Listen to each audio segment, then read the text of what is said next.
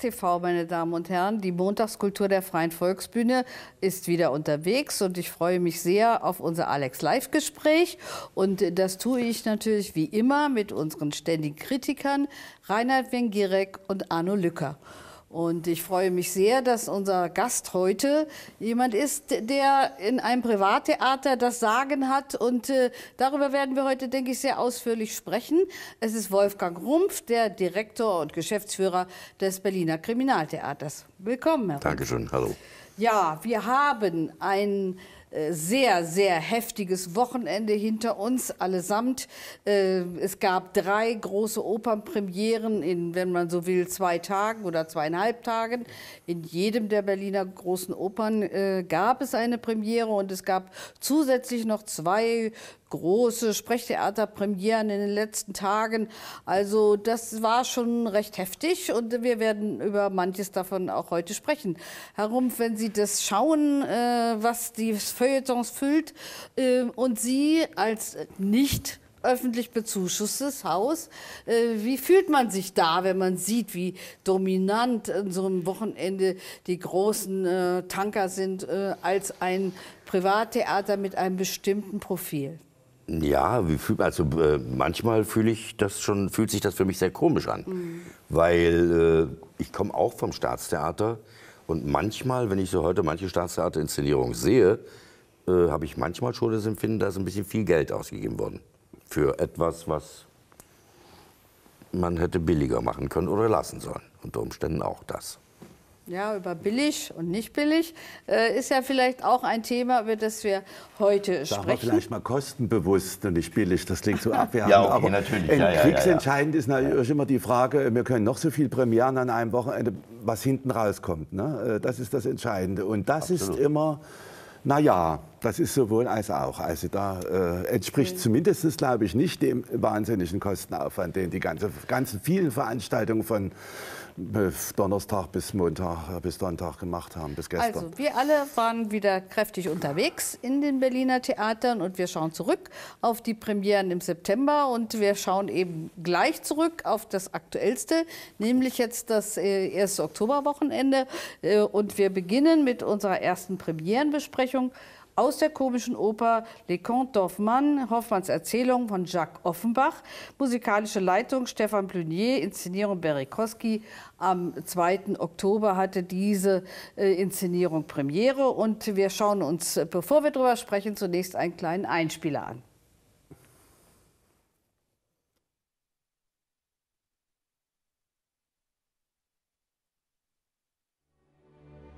Sa charme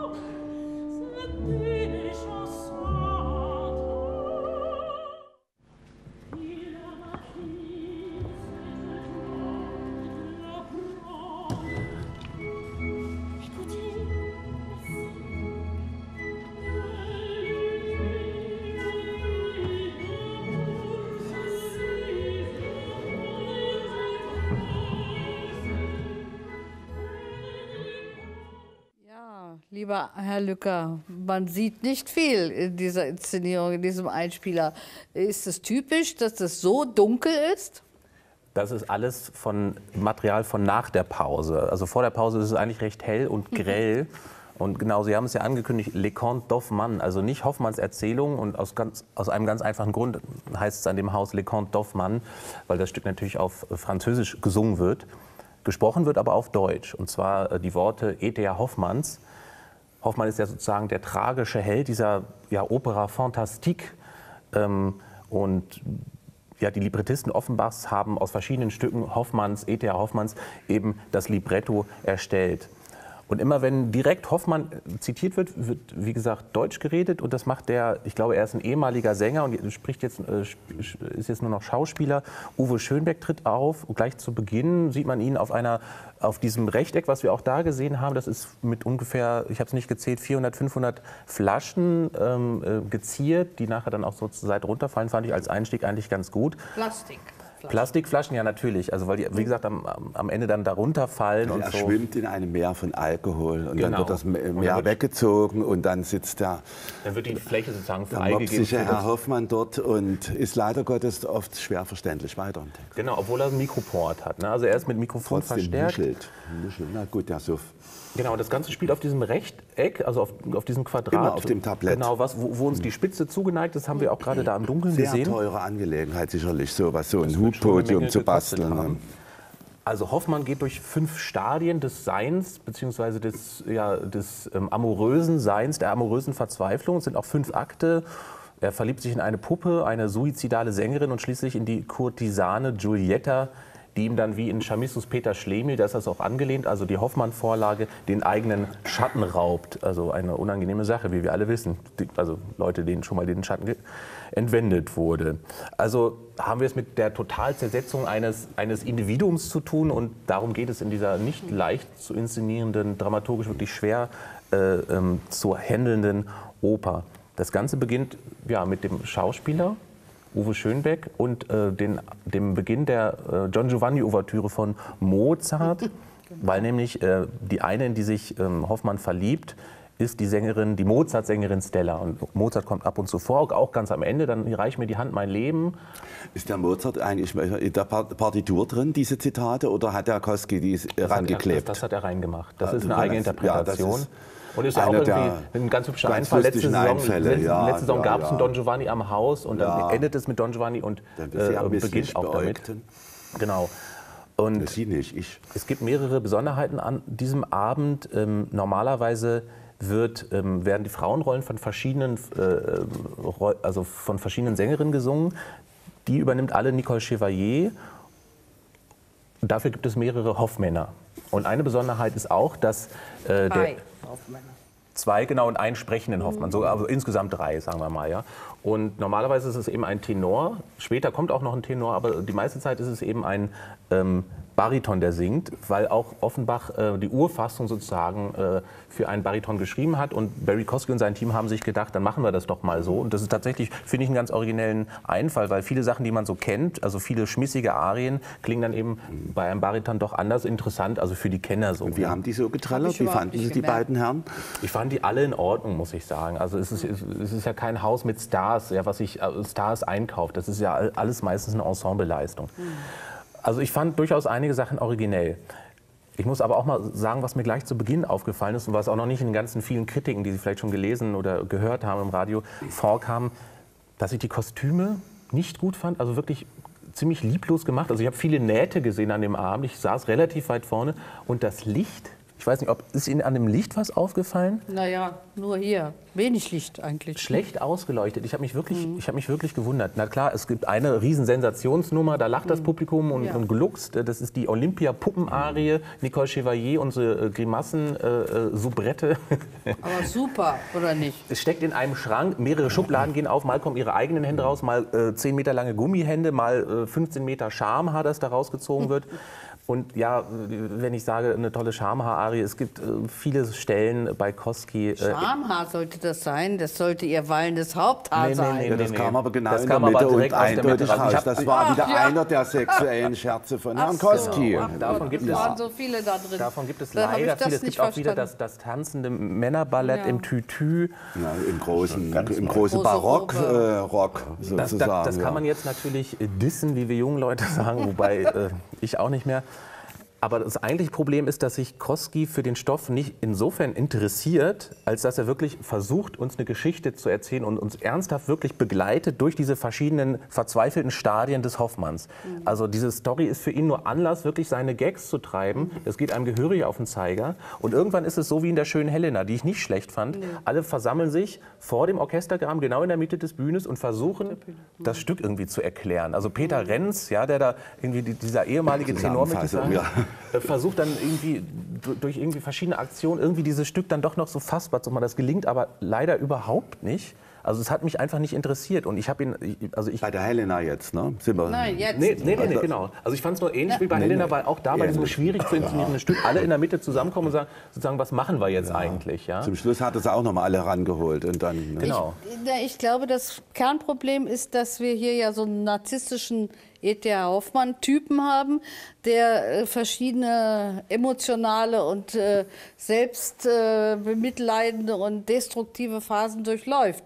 Und das ist einfach nicht gut, wenn das in drei Figuren dargestellt wird. Das fand ich das größte Problem. Also, dass er sozusagen gedreht hat. Der Hoffmann ist in drei und äh, die Damen des Herzens oder der Träume oder der Wünsche des Hoffmanns die ist eben eine Figur. Ja. Das ist ein toller Gag und Gags gibt es, sehe ich auch so, zu viele leider in, in dieser, in dieser Inszenierung. Man kann ja nicht zu viele Scherze machen, äh, aber Doch. ich möchte mal, ähm, ja, na gut, das mag, mag sein. Aber was, ich muss mal ehrlich sagen, also, ob ich ein bisschen doof war, also ich habe das eigentlich, wenn ich nicht vorher im Opern nochmal nachgeguckt oder hinterher, gar nicht richtig kapiert, das ganze Ding. Das ist eine so verworrene Hin- und Hergeschichte, Himmel nochmal. Wer, ist denn nun, ge wer ja, denn nun ne? gegen wen und mit wem und über wen und unter wem und Aber ich glaube, darum geht es nicht, weil ja, es ist ja ein Wirrwarr ein bisschen was- Menschen. Aber da muss doch der Regisseur irgendeine Idee entwickeln. Wie, was er, wo, wo, soll ich mir das bloß wegen der hübschen Musi angucken? Das kann es wohl nicht gewesen sein. Das hat er aber sicherlich auch nicht gewollt. Dann hätte er nicht tausend tiefgründige Anspielungen mit, äh, mit äh, Don Giovanni, also die Frau, die Verführer, das, der, der, Männer, der Mann als Verführer. Ja, Männerfantasien wimmelt ja da drin sicherlich. Äh, Es gibt viele Anspielungen, haben ja, Sie gesagt. aber irgendwie am Ende weiß man gar nicht, wo das ganze Ding so richtig Ich muss auch sagen, also nichts gegen, so, diesen, gegen, diesen, gegen diesen ehemaligen Sänger Uwe Schönberg, aber es ist nun mal leider Hm. so, dass viele Sänger nicht so gute Schauspieler sind, teilweise schlechte Schauspieler. Jetzt ist dieser Uwe Schönberg eben nur als, als Schauspieler da und ganz ehrlich, das reicht nicht für einen Abend. Also es hat mich schon am Anfang überhaupt nicht gefesselt, wie er da rumkichert. Am Anfang ging es noch, da war hing der Suff-Klumpatsch dort, aber dann äh, äh, äh, klumpatscht hätte- er sozusagen sich durchs Der Stück. hätte wirklich eine. Schauspielergröße vom deutschen Theater rangemusst. Der hätte vielleicht noch so ein bisschen mehr Charisma verbreitet. Viele haben auch geschrieben, ne, weil, dieser, weil dieser Herr halt hat eine Glatze und eine Brille und ist ein bisschen pummelig, dass das Koskis alter Ego ist, dass das sozusagen Koski selber ist, der da ist. Ja. was Wobei.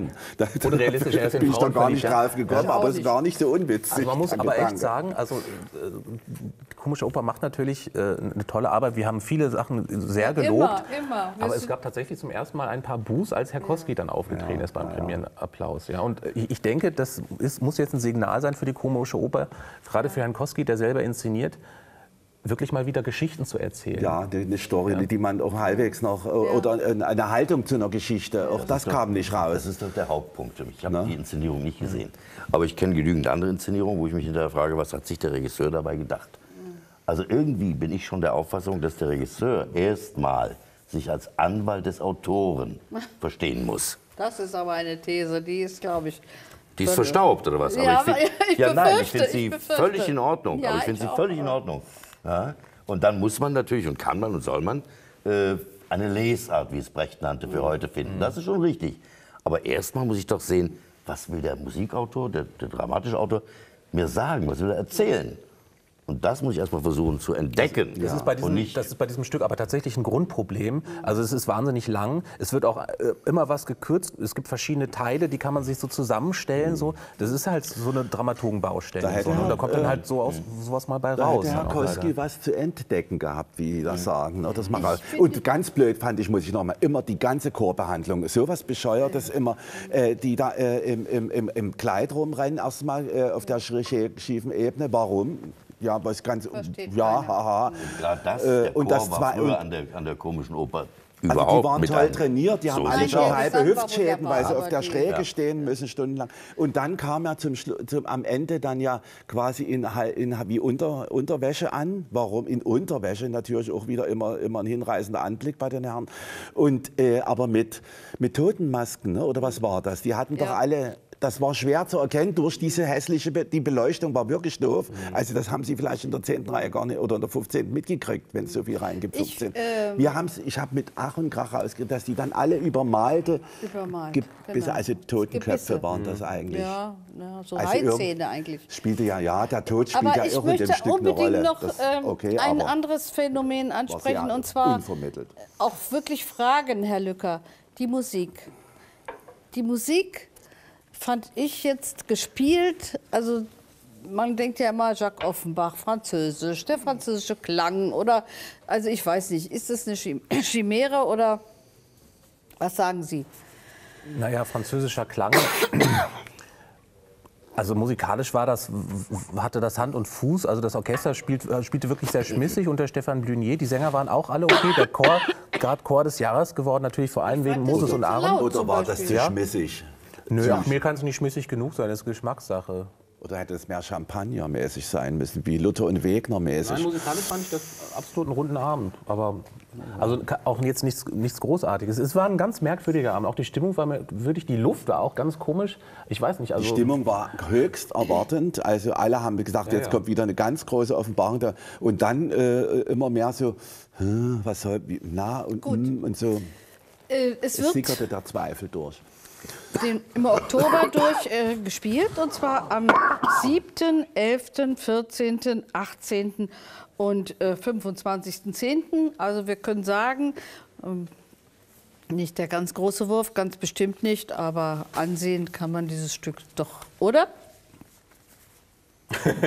Fragt sich, wie teuer die Schweigen. Eintrittskarten sind. Eine Okay. ermäßigte über Ihren Verein, da kann man gerne gehen. Aber für ganz richtig teures Geld würde ich sagen, Dort an nee. dem, an dem vorbei. Komm, kommen wir zur zweiten Premierenbesprechung. Und zwar waren wir in Potsdam im Hans-Otto-Theater und haben uns angeschaut ein, ein neues Stück von Ro Roland Schimmelpfennig, Das Schwarze Wasser, in der Regie von Elias Perrich. Die Premiere war am 18. September und äh, auch dazu haben wir einen kleinen Film und schauen uns den mal an.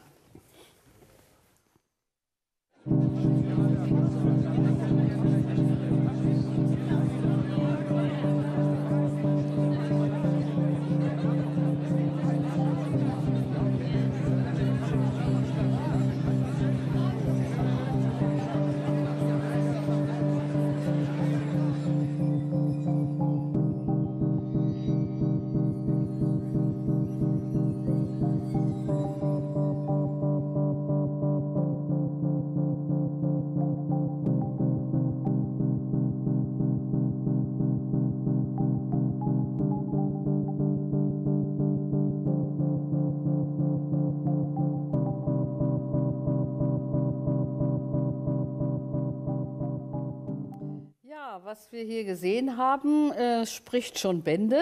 Es ist ein äh, neues Stück des, glaube ich, fast mit am meisten gespielten Gegenwartsdramatikers, Autors. Am Äh, meisten Schreibender auch. ja, Schreibende auch, Viel, spiel- viel gespielt Schreiber, werdende auch, ja. äh, Roland Schimmelpfennig. Und äh, die, damit, mit diesem kleinen Stück, hat das Hans-Otto-Theater seine Spielzeit eröffnet.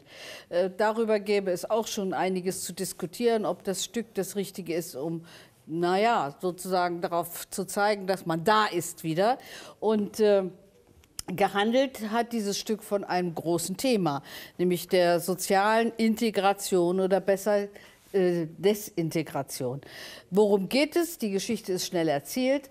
Äh, zwei jugendliche Gruppen treffen sich des Nachts illegal in einem Schwimmbad und äh, im schwarzen Wasser sozusagen. Sie überklettern die Zäune und begegnen sich da und es findet eine Begegnung im wahrsten Sinne statt. Es gibt Gespräche, es gibt, äh, gemeinsame Aktionen, es gibt Sex, es gibt alles. Also es, jede äh, dieser beiden Gruppen, äh, die man beschreiben muss. Die eine ist eine äh, soziale Mittelstandsjugendlichengruppe und die andere ist eine türkische Migrantengruppe. Und es ist, werden die Schranken, die sozialen Schranken, die Herkunftsschranken in dieser einen Nacht quasi aufgehoben. Ähm, 20 Jahre später treffen sich alle, also treffen sich alle nicht wieder, sondern 20 Jahre später wird in dem Stück erzählt, was aus den Personen geworden ist. Und es äh, stellt sich heraus, natürlich, die Mittelstandskinder sind auf dem Weg, Minister zu werden. Äh, Die damalige eine Nachtgeliebte ist eben Kassiererin im Supermarkt. Und es ist im Grunde so, dass äh, alles ist seinen vorgefertigten Gang gegangen und äh, niemand äh, bricht sozusagen aus aus seinem sozialen Feld oder schafft es äh, entsprechend äh, aufzusteigen. Das ist im Grunde die, die äh, These in diesem Stück und das ist natürlich etwas, ja, etwas bitter, dass das so in dieser drastischen Weise formuliert wird von mehr oder weniger so klar von, von Roland Schimmelfennig. Also alles ist determiniert und niemand kann sich und seine, seine Schranken niederreißen. Ähm, erzählt ist das Ganze, und das hat man ja eben auch gesehen, ganz sparsam und es ist, äh, besser gesagt, es ist viel erzählt und wenig gespielt. Man hat kaum Requisiten auf der Bühne, die Schauspieler sind großartig und sie, äh, es wechseln die Zeiten, also 20 Jahre vor, 20 Jahre danach und es changiert hin und her und äh, das, dem zu folgen ist manchmal nicht ganz leicht, aber es ist einfach ein kleines Stück, das eben sagt, jeder ist in seiner Rolle determiniert und große Veränderungen kann es gesellschaftlich nicht geben. Also relativ bitter finde ich und äh, dann eben doch auch zu ein wenig zu schlicht erzählt. Ich habe mir gedacht, äh, in welche Zeit setzt er das eigentlich rein? Also ich mit einer Westbiografie würde sagen, für mich passt es fast sozusagen in den Beginn der 70er Jahre, also die Erstbegegnung und dann an den Beginn der 90er Jahre quasi diese Art. Da ist das Stück, finde ich, ganz treffend erzählt, aber nicht, glaube ich, von den 90ern zu heute.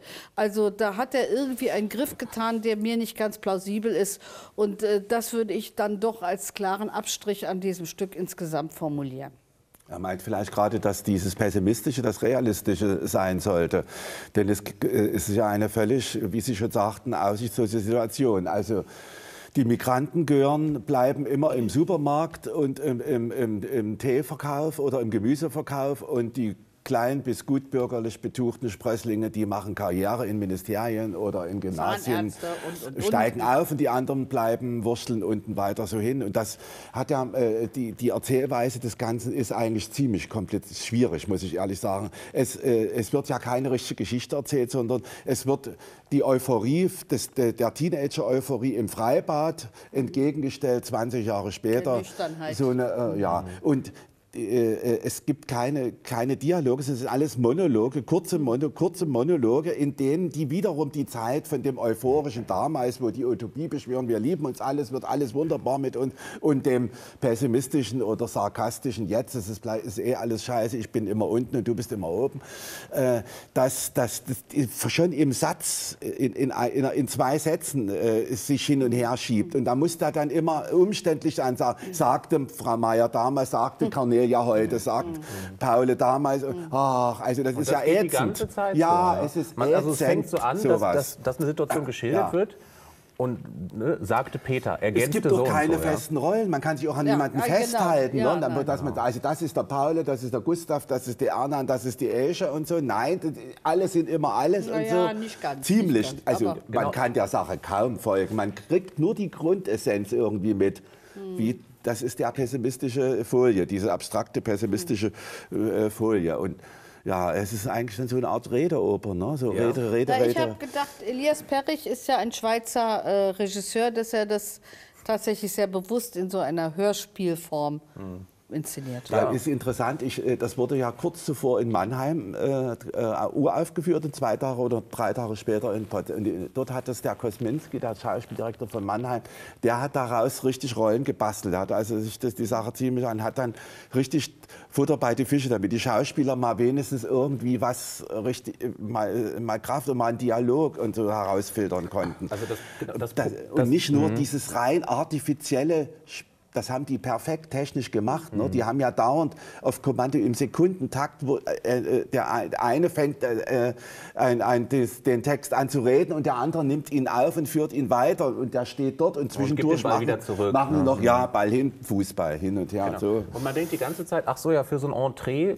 so die ersten 10, 15 Minuten, um eine Geschichte, Ja. um so ein Setting zu erzählen, weil es gibt eigentlich kaum ein Bühnenbild, es gibt so ein paar Stühle, die sind dahingestellt und durchaus also ähm, Ganz die, die, die, feine, e- edle Bühne, so Leerraum mit sanft beleuchtet von hinten. also die Geräuschkulisse einer Disco zum Beispiel wird dann halt durch, durch Mundgeräusche, durch ein, ein Mundbeat das sozusagen, äußerste an äh, konstruiert.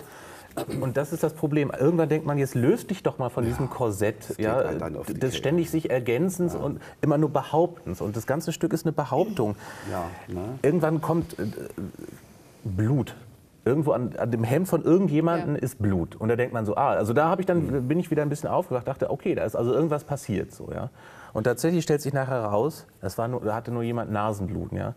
Und Nasenbluten ist für mich so der Inbegriff der Harmlosigkeit. Also wenn früher jemand bei uns in der Klasse Nasenbluten hatte, ja, das waren auch immer die gleichen, die hatten immer, äh, immer hatten die gleichen Nasenbluten, das ist so der Inbegriff. Also es war, mal es war mal ein bisschen schlimm, aber es ist ja nur Nasenbluten. Und das ist dann sozusagen die Moral des Stückes. Ja gut, ne, dass Aische irgendwie Supermarktverkäuferin ist, der eine ist Zahnarzt und der, die andere ist nur die Zahnarzthelferin natürlich so. die Sache das kann man man- natürlich so erzählen, aber doch nicht in, uns, in unserer heutigen Zeit. Also so ein 90er-Stück zu machen. Also jetzt was aus den 90ern zu nehmen, also wir sind doch ganz woanders. Wir haben doch mit ganz anderen migrantischen oder postmigrantischen Themen zu tun. Und dann da so ein Stück dahin zu stellen. Und der, ich habe mir gedacht, wie alt ist denn der Roland Schimmelfennig? Ich habe noch mal gegoogelt, der ist ja noch gar nicht so alt, Nein, dass er nein. jetzt als 80-Jähriger irgendwie auf, auf die 70er und 90er Jahre zurückschauen muss. Ich habe das nicht ganz kapiert Ja, da muss man nicht 80 für sein, um auf die 70er zurückzuschauen. Aber Sie wissen, was ich meine. Ja. Es ist ein bisschen schmalbrüstig, das ganze Ja. Ding. In, Ja. in jeder Beziehung. Und umso unverständlicher, warum man es zum Spielzeitauftakt genommen hat, anstatt da äh, Das ist ein ein großes. das man durchaus auch, also kann man überall spielen. Studio man braucht kein. Licht. Ja, hier groß, können wir ja. das spielen. Ja. Ja, ja. Wir Es vier ein- können das machen. Frau Stöber hat gesagt, das ist wie, wie ein Live-Hörspiel. Ja, wir können es bloß nicht auswendig lernen. Die haben ja immer, Ja. immer diese, diese Großartig. relative Textmasse äh, und dieses Hin und Her. Das hat der Perring, der Regisseur, also der hat das denen also wahrscheinlich mit ein, eintrainiert, Ja, das dass das klappt. Ja, also ja. wir Aber- haben im nächsten Stück dasselbe Problem äh, und da war es nicht so perfekt und so artifiziell wie in Potsdam, aber trotzdem wird es dadurch auch nicht spannender. Ja, es ist erstaunlicherweise sehr selten auf dem Spielplan.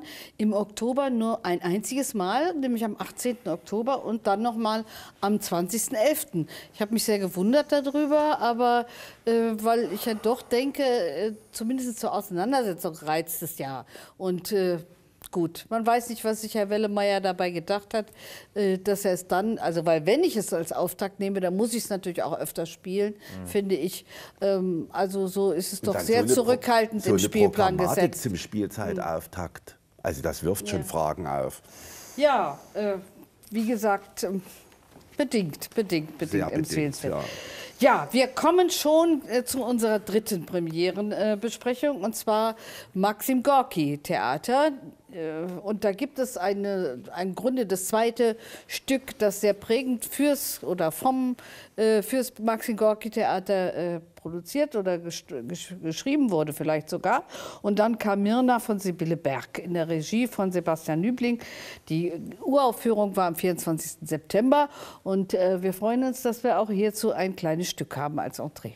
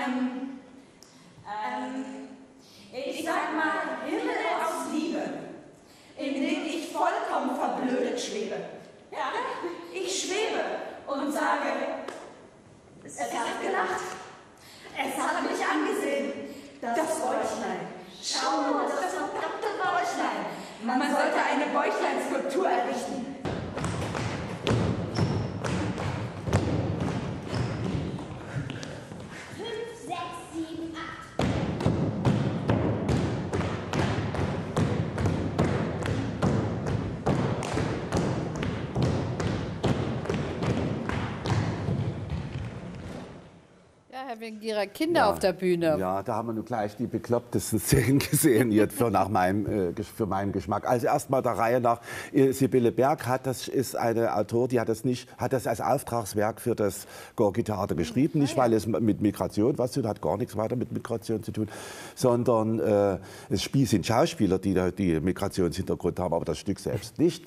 Äh, und zwar vor zwei Jahren zum Eröffnung der Intendanz äh, Langhoff hieß das Stück, es interessiert mich nicht, es sagt mir nicht das sogenannte draußen. Und da treten diese vier Damen, die hier am Anfang im Schlapperpulli auftraten, an und haben über ihre Erlebnisse und, und, und ihr nicht zurechtkommen mit dem Leben. Sie kommen alle vier nicht zurecht mit dem Leben, mit dem Dasein äh, äh, als Studentin oder als, noch als Jobberin und als gerade mal Schule verlassen und, und was nun werden, nicht, also nicht wissen wohin mit sich und mit überhaupt und mit ihren Trieben und mit den Männern und mit dem Geld. Und also sie sie sind eine chaotische äh, äh, das draußen, das ist damit das sogenannte draußen, wo man also strukturiert sein muss und sich mal anpassen muss und dann mal irgendwas leisten muss. Das können sie alle nicht, da können sie sich nicht einfädeln und Jetzt kommt, die Autorin ist eine sehr, äh, sehr sympathische, ich mag die sehr, äh, mag sie sehr. Sie schreibt auch Romane, die sind außerordentlich spitz.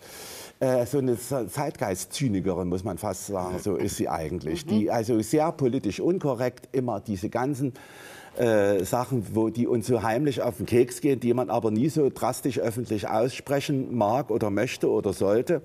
Das bringt die schön alles, äh, legt die diesen vier Figuren, da hat die dann in den Mund gelegt. Und jetzt kommt zwei Jahre später das neue Stück, der dicke Bauch, von dem die Rede war, da stecken die Mirnas drin. Also wir sind hier abstrakt, das ist keine konkrete Figur, keine konkrete Biografie, sondern auch vier abstrakt zusammengesetzte Lebens, äh, Frauen, Frauen äh, äh, Le Lebensentwürfe ist schon fast zu viel gesagt. Nur, dass sie jetzt das, wo sie als Gören nicht, äh, der Schlusssatz war bei dem ersten Stück vor zwei Jahren, äh, hoffentlich werden wir, wenn wir jetzt ein paar Jahre älter sind, ein bisschen schlauer und nicht mehr stehen, nicht mehr ganz so doof blöd da wie jetzt. Peng aus, Licht aus, alle haben gejohlt, es war ein hinreißendes, äh, hinreißender Abend, der war sehr perfekt gemacht und äh, äh, technisch meine ich, mit dem sind, ist ja auch wieder eine Sprechoper, die sprechen ja immer nur, und, äh, aber sie bleiben zumindest bei einer, wenn man so will, Figur. Ne? Es geht nicht noch so, dass, äh, dass äh, Paul und, und Minna noch sich gegenseitig die Texte wegnehmen, aber das ist jetzt auch unwichtig. Äh, und das, äh, die, diese, dieses wurde dann gleich zum Stück des Jahres bei Theater heute und das wurde, kriegte den Mülheimer Theaterpreis und Frau Berg ist, also wurde damit als Theaterautorin spätestens dann also hoch gefeiert und das auch zu Recht. Und jetzt hat sie noch mal einen, einen zweiten Aufguss gemacht, bisschen aufgusshaft ist es schon, ist nicht mehr ganz so spitz, aber jetzt geht es also darum, wie das, dass sie genauso beschissen im Leben dastehen, obwohl sie nur Alleinerziehende, die Männer haben sie alle aus dem Staub gemacht, erfährt man so zwischendurch, und äh, wie sie nur alleine mit ihren Gören zur Rande kommen. Die Gören traten dann auf, als die vier äh, so zwölfjährige Gören, die man leider kaum verstanden hat, weil sie so genuschelt haben. Und äh, das Albernste bei der ganzen Veranstaltung war, dass der Regisseur Kimmich äh, unaufhörlich von einer äh, äh, Kollegin, die Liebling. Choreografin, Nicht Kimmich. Nicht Kimmich. Nimmich, Nübling, Nübling. Sebastian Ach, Nübling. kriegt der die hat immer ja das- durcheinander. Bosse, Der hat ja Nübling, das Kimmich. andere auch schon gemacht. Ja, Weil die alle das- Sebastian heißen. Fast Ja, alle. fast alle. Ja. Nicht nochmal richtig.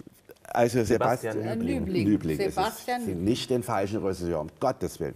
So, der hat, äh, er hatte so eine Choreografin noch, der, die, die ihm diese albernen Tänze, also solche, so ein Schwachsinn, das Rumgezappel auf der Bühne. Man sitzt da, aber haben die eine Klatsche da? Was machen die denn da für Blödsinn? Das war großartig. Also, es war ja nicht mal großartig toll. Nee, Also, absichtlich nicht. Das war absichtlich schlecht und, und, und ein bisschen nerdig. Und ich meine, das sind vier ja, Frauen. mal, mal, aber so lange. Nein, das war doch nur die ersten fünf Minuten. Nee, die haben immer wieder zwischendurch sind die Ich fand rumgehampelt. das höchst amüsant. Eine, eine Parodie auf das moderne Tanztheater. Lustlos, nerdig, mit den hässlichsten Klamotten der Welt. Ich fand, das, das passte sehr gut. Wirklich, ich hatte wirklich Spaß. Ja, okay. Wir waren also in das, derselben hat, das ist mir auf den Keks gegangen. Wir saßen Ja? ja, in einer Reihe. Na, jedenfalls, äh, also ich, ich muss sagen, dass, dass, äh, dass, dass auch bei dem Nübling diesmal die, diese, diese, bei dem, bei, im ersten Fall, bei dem ersten Stück, äh, was ja, wo auch, glaube, fast dieselbe Besetzung von den vier Frauen war, da waren die, äh, war das das, Artifi das ist ja ein artifizielles Sprechen, das war perfekter. Das, äh, also es ist ja ein Sprachkunstwerk, das wimmelt ja von Pointen. Ne? Und die, die müssen dann kommen. Und äh, das war so ein bisschen verhuschelt. So ein bisschen. Das muss dann auch äh, ein Sprechkunstwerk, wenn es ein Sprachkunstwerk ist von Frau Berg, muss es auch der Regisseur zu einem Sprechkunst, wenn er es schon so ganz abstrahiert im leeren Raum runterrattern lässt. Ne? So, das würde ich mal sagen. Und ich sage noch eine Bemerkung, das ist was mir überhaupt auffällt, äh, bei vielen, das ist mir im deutschen Theater, bei Terror jetzt wieder aufgefallen, bei dieser Uraufführung äh, und äh, auch äh, an anderen Stücken, äh, die man zu, sehen bekommt. Und auch, das ist, das gibt keine, die Autoren schreiben keine richtigen Stories mehr, die sie durcherzählen. Sie schreiben auch nicht gerne äh, pralle, lebenspralle Figuren, die in Konflikten aufeinanderstoßen. Und daraus entwickelt sich was. Und da entstehen tolle Dialoge. Dialoge schreiben sie auch ein Kunststück. Ne? So. Es ist immer monologisch, äh, plakativ erzählend. Äh, und es wird dann auch äh, eigentlich frontalunterrichtsmäßig vorgetragen, also runter ins Publikum an der Rampe vorne möglichst. Und damit es nicht gar so öde kommt, wird gehampelt zwischendurch. Oder irgendwelche Videos, also bei, bei, dem, bei der unsäglichen Veranstaltung Terror von dem äh, wie heißt er da, Ferdinand äh, Von Schirach. von Schirach, äh, was ein ganz äh, großes Thema, ganz platt abgehandelt, aber das ist jetzt, jetzt nicht hier zur Debatte, aber dasselbe Problem. Sie, Sie, Sie haben, Aber es haben gibt keine kein- Videos Sie haben Abend. Hä? Es gibt keine Videos an dem Ich Abend. meinte allgemein. Äh, allgemein diesmal nicht. Da, war, da hat er extra wahrscheinlich gemacht, wir machen keine Videos und so weiter. Aber da war die Sprache, dann war es Also mir ich zu weiß- wenig ich, intensiv. Ich weiß, was Sie meinen, dass, dass sich Ich die war Art des allgemein, Erzählens, ja. äh, Erzählens in Anführungsstrichen gewandelt hat und dass das einem manchmal gehörig auf den Zeiger geht. und, die, und die Regisseure trauen dem selber nicht so ganz und denken, sie müssen es anfüttern. Ja, ich glaube aber, dass, dass Sebastian Nübling hier ein großes Vertrauen in seine Erzählweise hatte, weil das nämlich für mich auf eine Weise sehr stimmig ist. Sie haben die, diese Kinder angesprochen, tatsächlich, wenn die, ne, die sprechen ja auch immer zu viert, sind, glaube ich, nicht zwölf, die sind eher so acht bis elf, also sind noch ziemlich klein und werden auf eine für mich bisher unerlebte Weise im Theater eingesetzt, dass wirklich Kinder auf der Bühne wirklich spielen und nicht nur süß sind und mit dem Stoffteddy da rumkommen, sondern das sind wirklich selbstbewusst, selbstbewusste Gören, die von ihrer Mutter eben einfordern, was ein Kind nämlich äh, ja einfordern darf, nämlich also oder auch nicht einfordern darf, ja, nämlich dass sich Mami und Papi wieder lieb haben, aber Papi ist schon längst verduftet. Nicht ja. nur das, dass sie sich lieb haben, sondern auch, dass sie von ihren Eltern Ordnung und und Vorbildfunktion Spießigkeit verlangen. Äh, sie verlangen, ja. sie verlangen das, was die nicht, die, die sind wie Gummi, die wie Wachs, wie Wachspuppen, diese Frauen. Das sind eigentlich schreckliche, arme, bedauernswerte Charaktere, die im Leben einfach nicht den Arsch an die Wand kriegen, unfähig dazu. Ist auch eine Tragik, die da drin steckt. Und die Kinder, die sehen diese formlosen Mütter da und sagen, mein Gott, Mutti, Mami, nun mach doch endlich Gib mal. Aber die Kinder müssen stark sein sozusagen. Ja, die müssen stark ausbaden. sein. Das ist eine tolle Ja. Autorenpointe. Das, das kommt auch ganz gut rüber. Also der, der Text Ja. ist ja unst- der ist schon toll, Dass das die muss Kinder, man sagen. Die Kinder sprechen halt auch immer Weise. zu viert. Tatsächlich, da gibt es manchmal wirklich äh, äh, ganz die schöne die- ähm, die Ja, zum Beispiel genauso auch, wenn Sie reden, während Ja. ich rede. Ähm, ich habe mir dann immer beholfen, damit, dass ich auf die Übertitel geguckt habe, die zwar auf Englisch waren, aber das hat man für mich das dann immer Ja. ergänzt. Finde ich sowieso eine gute Sache, dass das jetzt alles so international ist. Ich fand, dass hier Kinder auf eine Weise eingesetzt wurden, wirklich selbstbewusst, rotzig und trotzdem irgendwie auch natürlich süß. Und die, es gibt auch wirklich so eine Moral der Geschichte, nämlich dass Kinder eigentlich die spießigsten sind. Ja? Während die Eltern irgendwie sich auch inzwischen auf Facebook angemeldet haben, dass, was die Kinder natürlich total peinlich finden. Oder ja? um, Ich, umgekehrt, die Eltern sind die Spinner und die Kinder sind die Natürlich. Realisten. Ja, ja, genau. Das sind Ja, die genau. Gut, aber Lebensstarken. das kennt man doch. Die Das sind Lebensstarken sind die? Gören, nicht die Mütter. Die, die, und Ja. das Die ist natürlich Veränderungen mit nach Blick auf- Generation. Ja. Mit Blick auf Ihre Generation, ne, äh, die 68, die immer bloß das, äh, äh, ja, äh, war rumkiffen, noch rumkiffen und nichts war. leisten, so Aber ganz ehrlich, böse gesagt. Ne? Regisseur muss es erstmal schaffen. Und ich meine, dieser, dieser, diese Vorlage von Sibylle Berg ist natürlich kolumnistisch. Das ist im Prinzip Ja. ist es eine auf die Theaterbühne ja. gehebene, gehobene Kolumne. Und ähm, 70 Minuten mich dafür zu interessieren, was eine Mutter, die sehr mit sich selbst beschäftigt ist, was in der so vorgeht und was dann in der Interaktion, die nämlich durchaus stattfindet, das sind nicht immer so zwei autistische Monologe mal, mal vier, äh, was da abgeht, interessiert mich dann schon, weil mich, also mich interessiert es ansonsten nicht, wie eine Mutter mit einer Zehnjährigen, wie es in der so vorgeht. Und der Regisseur schafft es, zusammen mit diesem gar nicht so tollen Text von Sibylle Berg, ein, mir einen 70-minütigen Abend zu bereiten, an dem ich nachher mit einem guten Freund noch zwei, drei Bier getrunken habe, weil der Abend Ich für mich ja, sehr gut war. Ja nicht Wirklich das, sehr äh, gut. runter. Ja. Mhm. Ich fand bloß das Stück besser als die Inszenierung. Die Inszenierung hätte ich, weil ich das erste, weil ich das erste vielleicht gesehen hatte, da dachte ich mir, das äh, hätte noch ein bisschen Okay, stringenter. wir vielleicht kommt das noch. In, wir in, in, resümieren, also auf kann jeden man Fall. hingehen, kann man. Sehr amüsantes Stündchen. Eine Stunde, zehn Minuten ist der Spaß vorbei. Okay. So muss das sein. Zack, Empfehlenswert. aus. Ich höre das hier. Und dann äh, können wir das sehen am 23. und 27.10.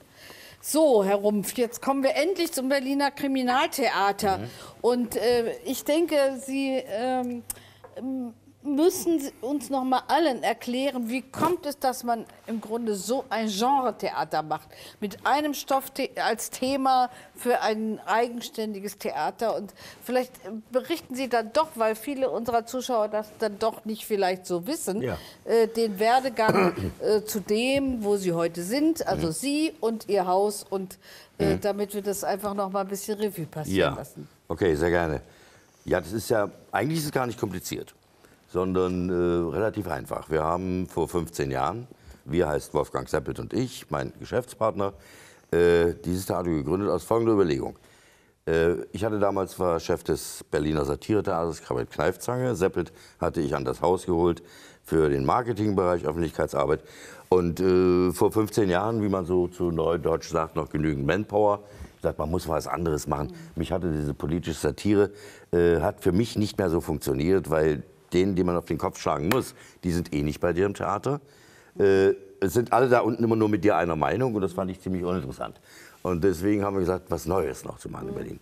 Was macht man beim Angebot von 50 Theatern, die es dort gibt und mehr Theater noch, aber eben äh, 50 so im Schnitt, die einem täglich begegnen? Man muss etwas machen, was ein Alleinstellungsmerkmal hat. Und da haben wir gesagt, es wird unheimlich viel Tatort gesehen, es wird unheimlich viel Kriminalliteratur verkauft.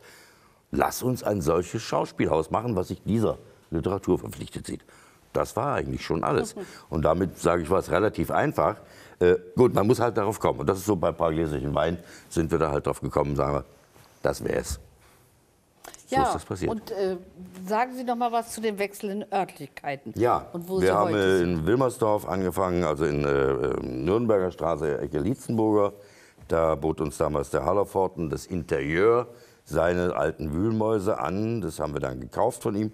Er zog dann ja, dort weg, an, an den Theo der Heusplatz.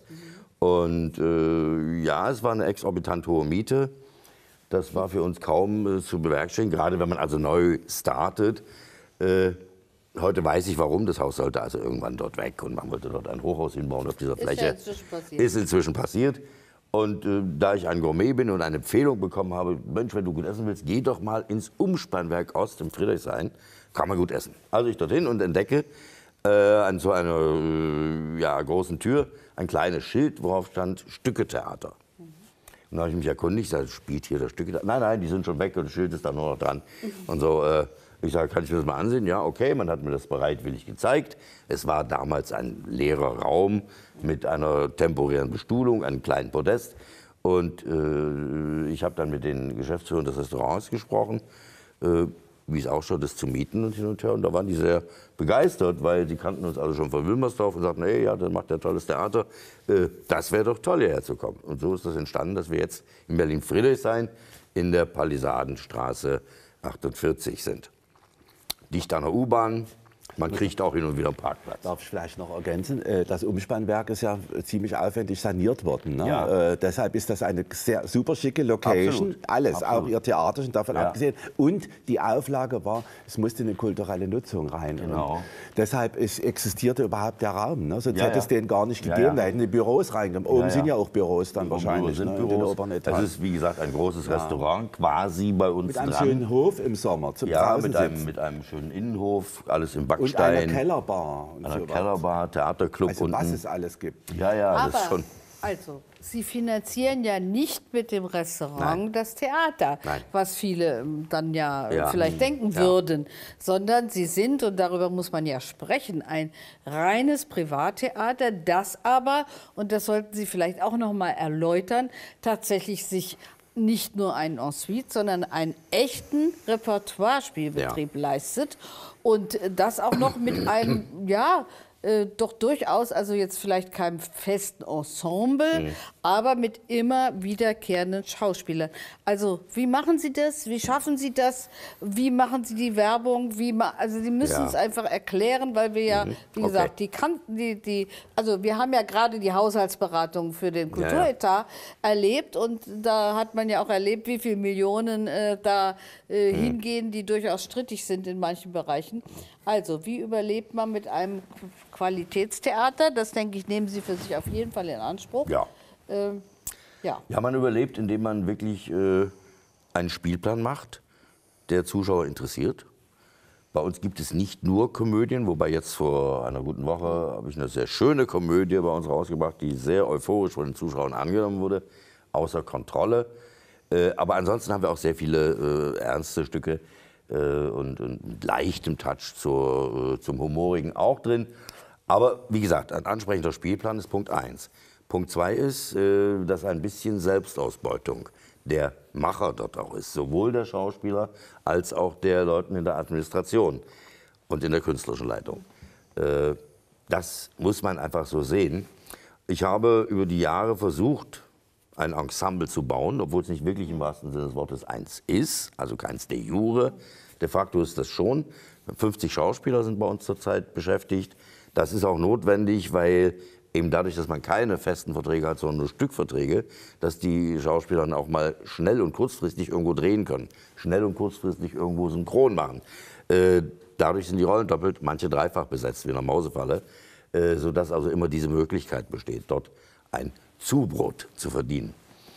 Dann ist es notwendig und wichtig, und da habe ich ein, immer wieder ein großes Dankeschön an Wolfgang Seppelt, meinen Geschäftspartner, der also eine, jetzt läuft das schon über zehn Jahre, äh, eine Akquise macht und äh, was Gastspiele betrifft. Also nicht, dass Leute zu uns kommen, sondern wir fahren zum Gastspiel.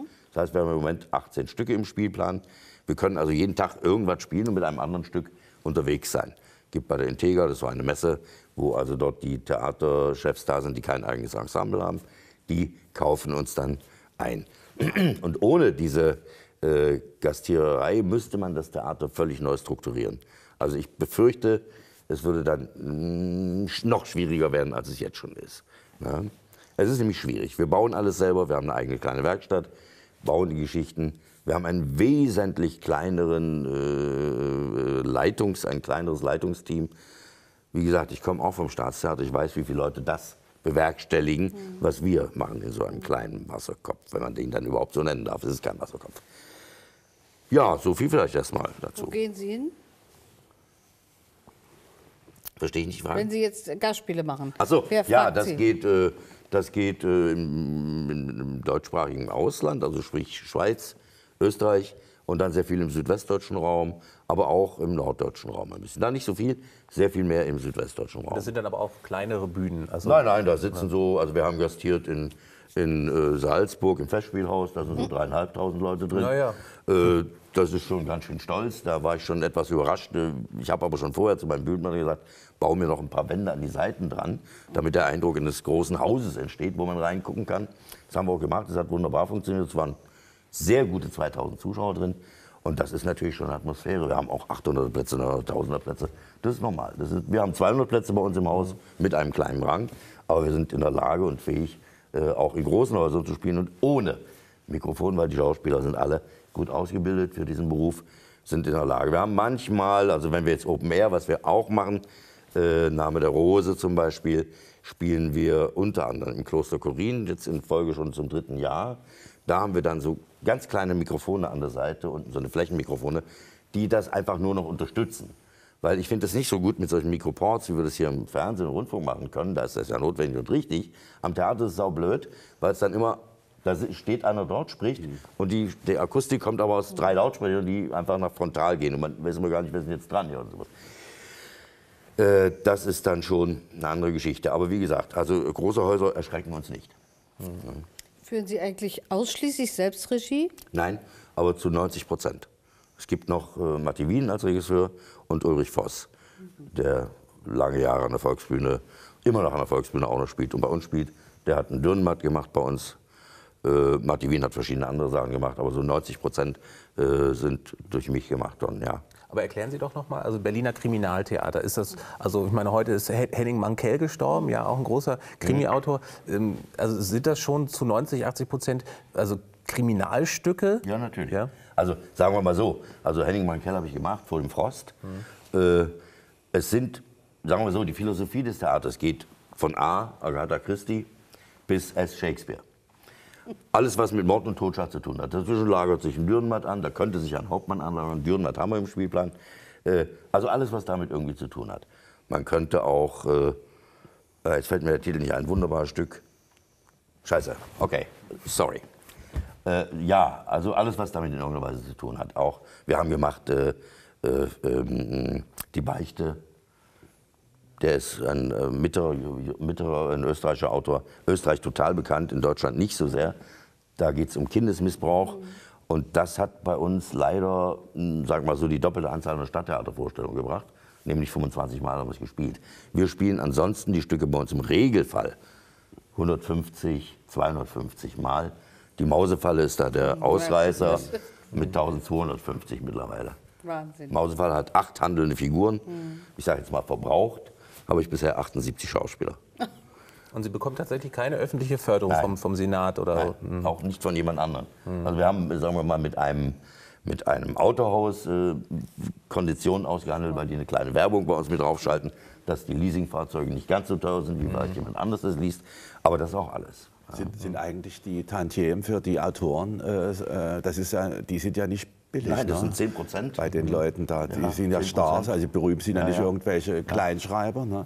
Weil vorhin, was Sie ja gerade sagten, vorhin, dass Ihnen das so gefällt mit dem Englisch-Übertitlung. Wir hatten die Absicht, das zu machen in der Mausefalle, speziell. Weil äh, es gibt ja viele Touristen englischsprachiger Natur. Hat uns London, wo die Hauptrechte liegen, nicht gestattet. Durften wir nicht machen. Was ich sehr bedauert habe, ich hätte es gerne gemacht. Nicht, nicht mit Übertitel, sondern wir hätten es in Englisch gerne gespielt. Oder mit einer anderen Übersetzung, aber da muss man das eben neu übersetzen lassen. Kriegst ne? Und, und man kriegt die Rechte nicht vom Verlag. gar- Ja, nee, ja, ja. Mhm. ja. Ja, nochmal zu den Stücken. Sie, ähm, also nehmen Sie nur äh, Kriminalstücke oder entwickeln Sie auch aus Romanstoffen eigene Stücke und schreiben Sie die oder wer schreibt die? Also äh, wir haben äh, Sebastian Fitzek drin, äh, Seelenbrecher. Das hat eine Dramaturgin bearbeitet. Ich habe jetzt den Namen nicht parat, tut mir leid. Äh, und ich habe dann auch noch so ein bisschen drin rumgeschrieben und gemacht und getan. Also wir entwickeln auch aus Prosa-Vorlagen Stücke. Namen der Rose. Ne? Name der Rose habe ich auch dann äh, gemacht. Das ist, man vergisst sowas alles. Ja, Name der Rose, was ja so ein Wälzer ist und daraus eben das auf die Bühne zu bringen. Da habe ich zu meiner großen Freude, also oft gehört, dass die Zuschauer gesagt haben, habe ich überhaupt nicht gedacht, dass, man das, das auf die. Bühne bringen kann. Genauso ja. habe ich auch reagiert, als Ja. ich das gesehen habe. Und äh, es ist wirklich äh, Ja. wahr, dass man so einen großen Stoff, philosophischen Stoff so Mhm. komprimieren kann, ist schon sehr schön. Ähm, war eigentlich mal jemand von den politischen Akteuren bei Ihnen, um das äh, auch äh, vielleicht auch mal, oder stellen, sagen Sie, ich will unabhängig sein und will auch gar kein Geld. Also wir haben ja letztes Mal mit Wolfgang Stüssel vom Kinder- und. Ja. Jugendtheater, der eben immer sagt, ja, wenn man für kleine Menschen, junge Menschen Ja. was macht, kriegt man wenig Geld, macht man für Erwachsene, kriegt man mehr und das auch sehr bedauert hat, obwohl da ja eigentlich der Auftrag viel extremer noch mal ist. Das ist so eine zwiespältige Frage. Also einerseits äh, würde ich natürlich schon gerne im Interesse meiner Schauspieler äh, schon ein bisschen an Subventionen haben. Wenn ich also abfedern würde, die, die Fixkosten, die da also nicht nur Miete sind, sondern die sind Versicherungen für die Zuschauer, auch bei Gastspielen. Das ist, das ist auch all diese teuer, ganzen ne? Geschichten. Äh, das wäre schon sehr hilfreich. Aber manchmal sage ich auch, naja, mein Gott, wir können uns nur selber schließen und können nicht von jemandem geschlossen werden. Was auch ein Vorteil ist. Und noch die Frage, die Sie davor gestellt haben. Äh, nein, von den Politikern, also sagen wir jetzt mal gerade speziell Kulturpolitikern. Herr Wobereit hat sich beim zehnjährigen Jubiläum immerhin äh, dazu herabgelassen, ein Grußwort zu schreiben. Das Theater hatte er noch nicht von innen gesehen, sein damaliger Staatssekretär auch nicht. Der Herr Müller äh, ist auch eingeladen worden zur letzten Premiere, war natürlich auch nicht da als Staatssekretär. Hatte auch keine Zeit. Ich kann das nicht verstehen. Ich finde, es ist auch eine ziemliche Arroganz, äh, die da manche Politiker so mit sich rumschleppen. Aber na gut, sie sind halt so. Ja, äh, vielleicht konnten wir aber doch einige Zuschauer interessieren für ihr Haus und auch Lust machen, nach Friedrichshain in die Palisadenstraße zu gehen. Das würde mich freuen. Ja, mich auch. Und wir sind schon bei unserer Tipprunde. Und äh, Herr Rumpf, äh, gleich, äh, ich denke, es ist an Ihnen. Sie starten als Gast äh, mit einem Tipp. Wo sollen die Leute hingehen? Äh, vielleicht ja. sprechen Sie über Ihr eigenes Haus? Naja, es gibt in Berlin schon eine Menge Häuser, die man empfehlen kann. Aber als Intendant des Berliner Kriminaltheaters empfehle ich natürlich mein Haus. Zumal wir gerade ganz frisch eine Premiere hatten. Und wenn man sich durchs ganze Repertoire durcharbeitet, kann man uns sehr oft besuchen. Also ins Kriminaltheater. Ja, Was ist denn die aktuelle Premiere? Ja. Sagen Sie doch Äh, außer Kontrolle. außer Kontrolle. Außer Ja, jetzt Kontrolle. Sehr schöner Plot, wunderbar. Ein Staatsminister, Eng, spielt in England, Staatsminister der Regierung will sich zu einem kleinen Tete-a-Tete mit der Sekretärin der Opposition treffen. Und die sind auch schon sich sehr nahe gekommen. Da wird ihr ein bisschen heiß und sie sagt, ich will das Fenster noch mal aufmachen, macht die Vorhänge zurück und da liegt eine Leiche. Und jetzt geht es mit einer großen Verwicklung darum, scheiße, scheiße, scheiße, die Leiche muss weg, damit man hier zur Sache kommen kann. Und Ja. das ihre Verwitterung. Ja, also soll ich mal was sagen? Ja. Also das Schauspiel macht ja momentan kein gutes Gesicht in, in der Stadt, muss ich mal ein bisschen pauschalisierend sagen, zumindest die jüngsten Produktionen. Deshalb nochmal auf in die Deutsche Oper. Äh, da kommt in nur einer Vorstellung, was mir unbegreiflich ist, am 28. Oktober Don Giovanni. Und der hat es nämlich insofern unglaublich hinter den Ohren, äh, die Hauptfigur sowieso, sondern dass nämlich Roland Schwab heißt der Regisseur, die, äh, die Titelfigur gedoubelt hat. Da treten also immer chorisch, also äh, zumindest pantomimisch zehn oder zwölf äh, Herren auf, die, die das äh, ganze Ding durchziehen. Also das ist so gewitzt und geistig. Sie denken alle, das ist Schwachsinn. Es ist ein ganz gewitztes, pfiffiges, Ah, ich habe noch kaum so eine originelle Giovanni-Inszenierung gesehen wie diese am 28. Oktober von Roland Schwab in der Deutschen Oper. Eine Vorstellung jetzt. Ja, dann dann- ist wieder weg für ein ganzes Jahr wahrscheinlich. Ja. ja, Herr Lücker, Ihr Tipp?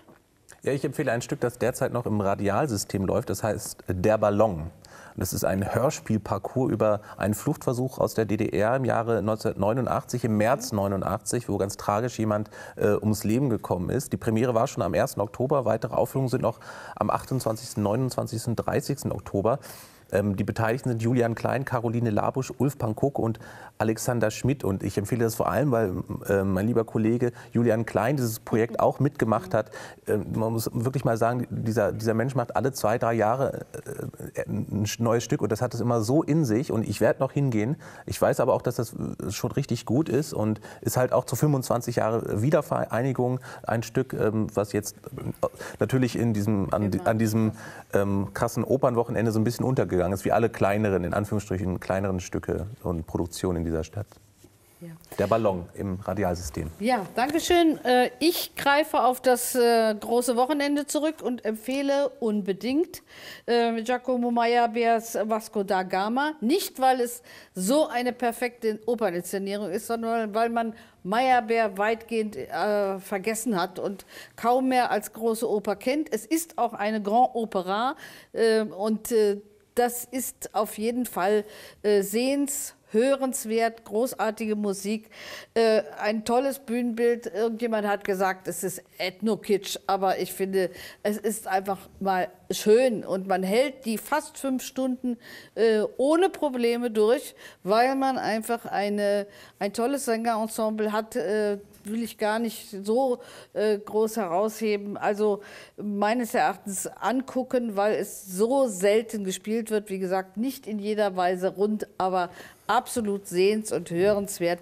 in der Deutschen Es Oper. gibt ja zwei Pausen in der Deutschen Oper. Es gibt zwei Pausen, Vasco da Gama. Und ich muss es heute sagen, weil äh, leider ist es für diese, ich glaube, für die ganze Saison schon bis zu unserer nächsten Sendung abgespielt. Und das bei so einer, ich meine, es kommt dann ins Repertoire, denke ich, aber es ist nur noch im Oktober zu sehen und zwar am 7., 11., 15., 18. und 24.10.